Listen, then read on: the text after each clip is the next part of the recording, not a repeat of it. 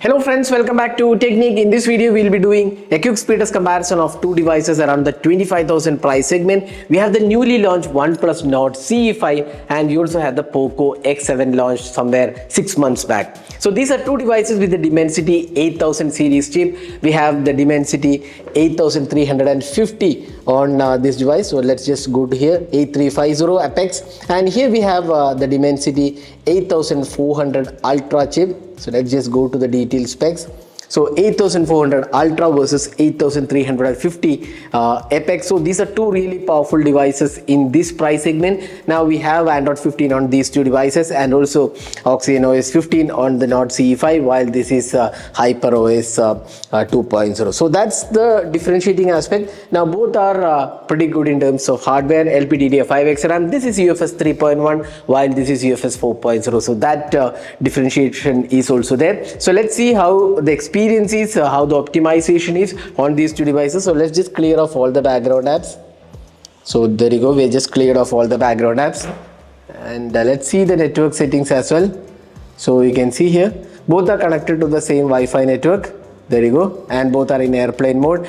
And both have the performance mode turned on. So you can see here performance mode is turned on on both devices. Game mode is also available. So just clearing off the background apps. Let's start with Asphalt Unite.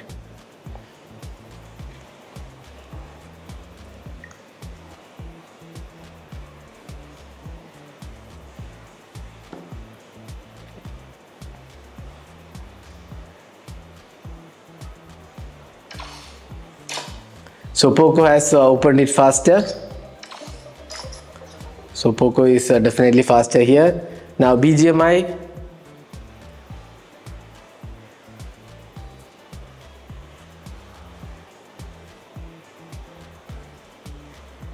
Once again Poco has taken the lead. Once again Poco has loaded the game much faster.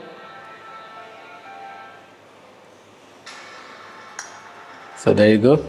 Now both the games are faster on Poco. Let's see other apps. Play Store. Here it was faster on CE5. So we'll just keep this. Facebook. Probably almost same time.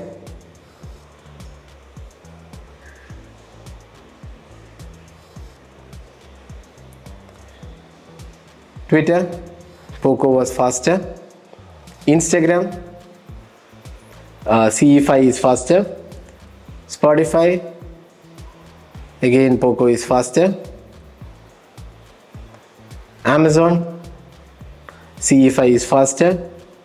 Flipkart, probably almost same time, not much of a difference.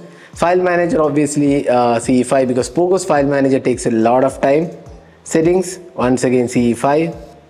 YouTube, CE5 was slightly faster. Probably same time. Camera, Poco was faster. And maps. Once again, Poco is faster. So you could see here, uh, both the devices are pretty good, but in terms of games, uh, you could see that Poco X7 Pro with uh, the uh, 8400 Ultimate chip, uh, which is a more powerful chip than the 8350 Apex.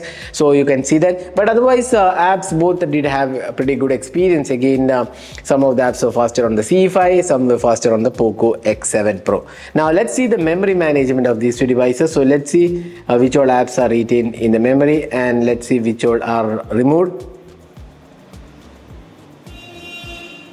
so as of now you can see here now both have reloaded a flipkart. Amazon once again both have reloaded it. Spotify is available on poco while it has been reloaded on the nord ce5 now this is available on uh, ce5 while it has been reloaded on the poco. Twitter is available here while reloaded on the poco. Facebook available on both. Chrome reloaded on ce5 play store then uh, games. Games surprisingly available on both the devices and finally Asphalt Unite. Now Asphalt Unite is available on POCO while it has been reloaded on the Nord CE5. So memory management is in the strength of either of these devices. So it is not really optimized for good memory management. Both uh, of the devices reloaded a lot of uh, apps uh, from the memory. So memory management is in the strength of either of these devices. So next uh, let's see the network uh, speed of these two devices. So let's see how they perform in terms of so there you go. We just connected both the devices to the same server. Let's start with the CE5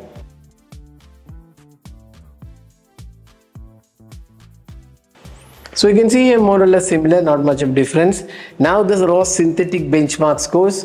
So here you can see the obviously 13 lakh or rather 14 lakh uh, uh, closer uh, to 14 lakh here while this is more than 15 lakh 15.6 lakh. So definitely uh, the poco x7 pro is uh, better here in terms of uh, synthetic benchmark. Uh, almost all the scores are higher on the poco x7 pro because the dimensity 8400 uh, ultra is definitely a great chip in this price segment. Now finally the storage test so we'll just see the storage just ufs 4.0 1 lakh 92000 but ufs 3.1 is performing quite well actually on uh, the Nord CE5.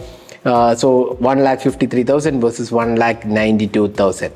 Now finally the uh, Geekbench test. Uh, so once again here you would see that synthetic benchmark scores are uh, better on uh, uh, the POCO X7 Pro 1586 versus 1304 and 3937 versus 6057.